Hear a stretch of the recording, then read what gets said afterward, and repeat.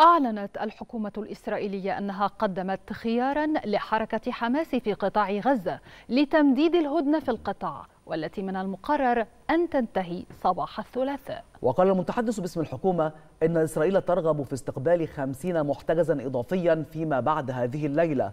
مضيفا أن إسرائيل في طريقها لإعادة الجميع